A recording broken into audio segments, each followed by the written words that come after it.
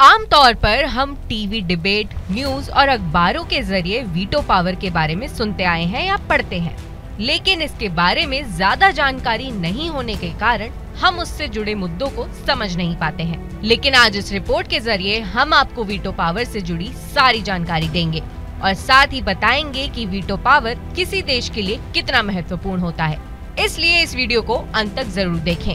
द्वितीय विश्व युद्ध के बाद सक्सेसर देशों में चाइना, अमेरिका, रूस, फ्रांस यूनाइटेड किंगडम यानी कि यूके ने मिलकर दुनिया भर में शांति सुरक्षा कायम करने के लिए संयुक्त राष्ट्र सुरक्षा परिषद यूएनएससी का निर्माण किया। शुरुआत में इन्हीं पाँच देशों को वीटो पावर दिया गया। साथ ही इन्हें स्थायी देशों के तौर पर जाना जाने लगा, जो आज भी बरकरार है। आज यूएनएससी में पाँच स्थायी देश और दस अस्थायी देश हैं। स्थायी देशों को ही वीटो पावर हासिल है।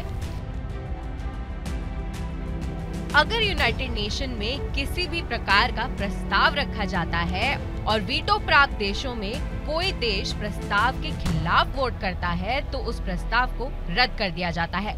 यहीं से वीटो पावर की शक्ति होने का पता चलता है। चाइना, अमेरिका, रूस, फ्रांस और यूनाइटेड किंगडम यूएनएससी के स्थायी देश हैं और इन्हीं को वीटो पावर हासिल है, जबकि यूएनएससी के 10 अस्थायी देशों को वीटो पावर हासिल नहीं है, जिसमें भारत भी शामिल है। भारत दुनिया की एक बड़ी आबादी वाला देश है। वीटो पावर के लिए भारत की मांग लंबे समय से रही है, लेकिन अब तक सफलता नहीं मिल पाई।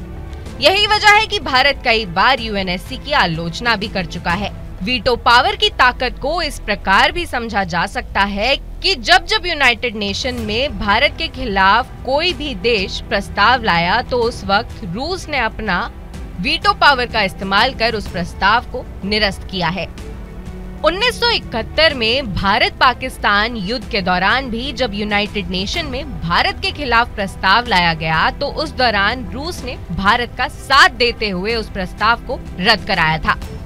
आखिर कैसे मिलती है वीटो पावर? वीटो पावर किसी भी देश को उसकी काबिलियत, औद्योगिक, राजनीतिक, आर्थिक तथा सैन्य शक्ति को देखकर दी जाती है।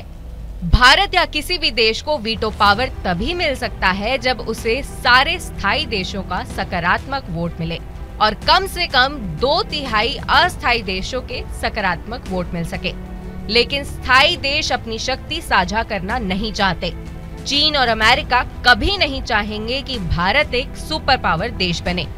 लिहाजा आज तक भारत वीटो पावर के लिए संघर्ष कर रहा है।